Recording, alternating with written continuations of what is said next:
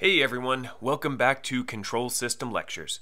This is the fourth video on discrete control, and in this video we're going to continue exploring the different techniques we can use to discretize a continuous system. And as we've covered so far, there's a bunch of different ways, and each have their own quirks and benefits. And in this video I want to explain the matched pole zero method. But before I start, I'd like to turn your attention to the Wikipedia page for the matched method and point out something very important. Well, it's not terribly important, but at least it's something I want to share with you before we begin. If you scroll down to the reference section, you can see that Rabiner and Gold state that this ad hoc technique is at best only a stopgap measure, and in general the use of impulse invariant or bilinear transformation is preferred. And then Jackson states, Although perfectly usable filters can be designed in this way, no special time or frequency domain properties are preserved, and it's not widely used. Uh, yeah, that sort of takes the momentum from this video. And I said each method has its benefits, and so far the match method sounds like it only has quirks. And what's the point of learning a method that isn't useful? Well, I have two answers to that. First, this concept just makes a lot of sense, unlike that sentence that I just wrote but it's honestly something that you might accidentally stumble across and reinvent one day. And because of that, I think it's an interesting method that's fun to learn. And second, I think spending some time to understand this method will help you become more familiar with the z-plane and discretization, which can really only help. So if you stick with me through this video, I think you'll find it worth your while. Okay, recall that when we're discretizing a continuous system, we're trying to find an appropriate mapping between the continuous S domain and the discrete Z domain. That is, we're looking for the best way to convert our S domain transfer function into a Z domain transfer function. And in previous videos, we covered several ways to do this mapping. With the impulse invariant method, we used the Z transform to create a discrete system that produces the same impulse response as the continuous system albeit one will be sampled instead of continuous. We also took into consideration the effects the zero order hold has when discretizing a continuous plant. This is sometimes referred to as the step invariant method because it produces the exact same step response as its continuous counterpart. Now we didn't cover the first order hold method, however it assumes that for the analog to digital converter, rather than holding the last sample constant like it does with a zero order hold, it instead holds the slope constant, and produces a series of ramps rather than steps. Now you can do out the math like we did for the zero order hold method and find the transformation, but this method is also referred to as the ramp invariant method, hopefully for obvious reasons.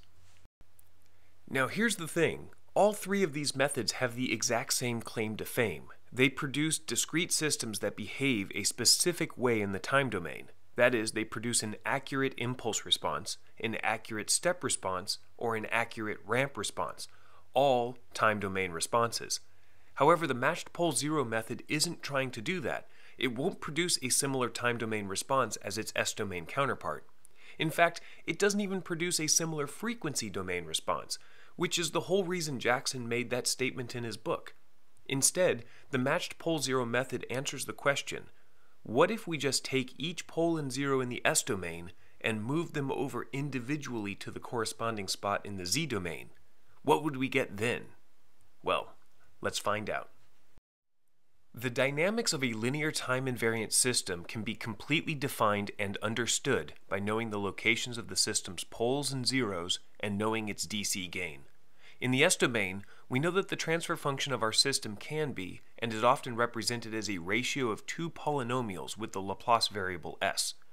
Of course, instead of a ratio of two high-order polynomials, in this case the numerator is just a constant and the denominator is a second-order polynomial, we can rewrite this as the ratio of the product of several first-order polynomials plus a multiplier term. This is the zero-pole gain, or ZPK, form of the transfer function because you can clearly see each of their values. This particular transfer function has no finite zeros, it has poles at minus 1 and minus 2, and it has a multiplier gain of 3. And from this we can easily plot the poles and zeros on the s-plane and see graphically where they lie. And using our understanding of the s-plane, we can make claims like, if all the poles exist in the left half plane, then the system is stable. Let me stop us real quick and go off on a quick aside. I said that this is the zero pole gain form of the transfer function, but don't let this gain value fool you into thinking that this is the DC gain, or the really, really low frequency gain value. It isn't. We can double check that statement by going over to MATLAB and calculating the value of the DC gain. Now the first thing I do is create the Laplace variable s. Now we're not actually going to use this variable, I just created it out of force of habit. We're actually going to use the zpk function to create our transfer function and then check the DC gain of that result. And our system has no finite zeros, so we can just pass in an empty matrix. We have poles at minus 1 and minus 2, and we have a gain of 3. And now we can verify that this is the exact same transfer function that I wrote down earlier, and then calculate the DC gain of this system with the DC gain function. And it claims it's 1.5, not 3 like we specified, they are clearly different. And if we go back to the blackboard, we can find the DC gain of the continuous system by hand simply by setting S to 0 and then simplifying the ratio. And here we get 1.5 like we expected. Setting S to 0 allows us to find that really low frequency gain because S equals sigma plus j omega, and so setting it to 0 is the same as zeroing out the exponential term, and then making the frequency omega also zero, so it's just a flat line. Technically, we're looking for the limit as s goes to zero, but just setting it to zero is close enough. Now, if you wanted to write out your transfer function as a zero-pole DC gain function, then you'd have to make sure that each pole and zero was written in such a way that they each had a DC gain of 1. Then the multiplier that's left over is the DC gain of the entire system. Okay, hopefully that helped at least a little bit because we're going to use the DC gain of our system later on in this video. Okay, let's finally get to the actual matched method. Now that we have the location of our S-domain poles and zeros, the idea is that we want to move each one over to the z-plane and place them in the corresponding spot. But where to place them? Fortunately, mapping them to the z-domain is pretty straightforward. We just use the definition of the variable z, which is defined in terms of s as z equals e to the s t, where t is the sample time of the discrete system. So let's use this transformation on our two poles for a sample time of 1 second. For the pole at s equals minus 1, the z location becomes e to the minus 1, or 0.3679. And for the pole at s equals minus 2, the z location becomes e to the minus 2, or 0.1353. Now we can plot them in the z-plane and use them to write out a z-domain transfer function g of z. And we're done, right? Well, mapping the poles and zeros over is just the first step in the process.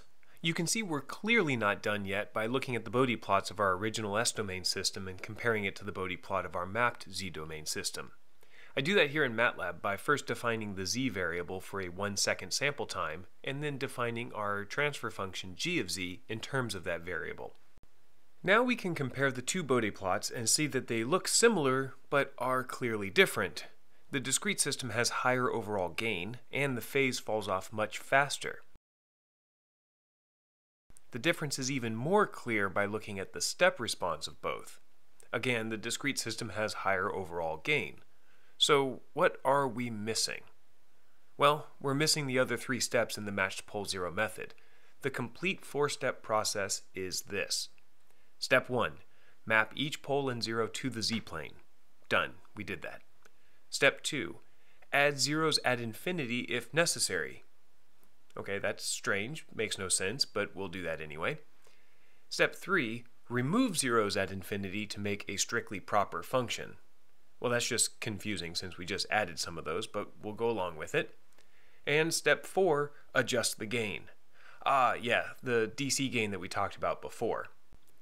Each of these new steps will make more sense when we walk through them, so let's do that now. Step 2. Add zeros at infinity. Now at first glance it would look like this system has no zeros, right? There's nothing in the numerator that looks like it would be a zero. However, there are zeros there, they're just hidden. Remember that if there are more poles than zeros, like we have, then your transfer function actually has a zero at infinity, with the number of zeros at infinity being the difference of the number of finite poles and finite zeros. Now I think this is easier to comprehend in a root locus plot. Recall that the lines for a root locus plot start at the open loop zeros and travel to the open loop poles. However, in the case where there are more poles than zeros, the extra lines come in from infinity. These are the hidden extra zeros that we need to account for, the ones way out at infinity, and in this case, we have two of them. The way we account for them is by shifting them down to the Nyquist frequency, which means putting a 0 at z equal minus 1 for every infinity 0 in the S domain. So for us, this transfer function has two zeros at infinity, and therefore our discrete transfer function will include two zeros at z equals minus 1. Well, that seems easy enough, so let's move on to step 3, create a strictly proper transfer function.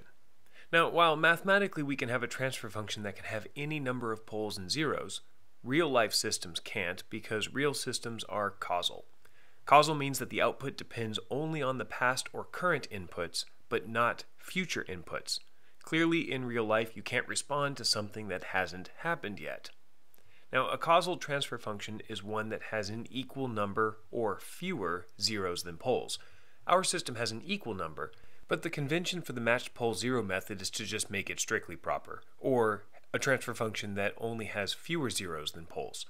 Therefore, we remove any z equals minus 1 zeros until the system is strictly proper. Alternatively, we could have only added the zeros at infinity in step 2 until the order of the numerator was one less than the order of the denominator and combined those two steps into one. But either way would get us to the same spot, which is a strictly proper transfer function in the z domain. Now if we head back over to MATLAB and create this new transfer function, we can then plot its Bode plot alongside the other two. And you can see that it tweaked the shape a little bit. Our phase roll-off isn't quite as severe, and the gain plot matches the roll-off a little better around 1 radian per second. Not a huge change, but one worth doing. And for the step response, our new function, the yellow line, rises a bit more like the continuous system. However, we've screwed up the gain even more. So let's go fix the gain term in step 4. A multiplier is applied to the z-domain function to make the dc gain value of both the z and s-domain functions the same. I'll add in the multiplier we're looking for in red. This is actually easier to do than you might think. As we learned before, the DC gain for a continuous system is found by setting S to 0, and the DC gain for a discrete system is found by setting Z to 1. With a little bit of algebra, we find that the multiplier for the z-domain transfer function is 0.4099. I'll just copy our previous transfer function and multiply it by this value. And this is the final form of g of z. This is the result of converting the continuous transfer function using the matched pole zero method. We can double check this by using the continuous to discrete function c to d in MATLAB. Our continuous system we want to convert is g, the sample time of the discrete system is 1 second, and we want to use the matched pole zero method for the conversion. And you can see that we got the exact same result in MATLAB as we did by hand. And now we can plot the Bode plot for this final version and see just how nicely the two gain plots overlay with each other. We can also plot the step response and see that they're also much closer now than they were before, so those last three steps in the matched method were pretty necessary. Now you may not use this method very much, but I still think it's pretty cool thing to know. In the next video I'll cover the more popular and more useful bilinear transform. If you have any questions or comments on this video, please leave them below and I'll try my best to answer them. Don't forget to subscribe so you don't miss any future videos, and thanks for watching. And a huge thank you to my Patreon supporters for making this video possible. If you'd like to support me in my efforts on YouTube, you can from the Patreon link in the description below. For any amount of support, you can download a digital copy of my book in progress on control theory. Now, I'm still actively writing the book, so it's not yet complete, but if you'd like a copy of what I have so far, but are unable to support me through Patreon for any reason, just email me at controlsystemlectures at gmail.com and I'll send you a copy for free. That way, we can spread the knowledge and help everyone on their quest to becoming better control system engineers. Thanks, everyone.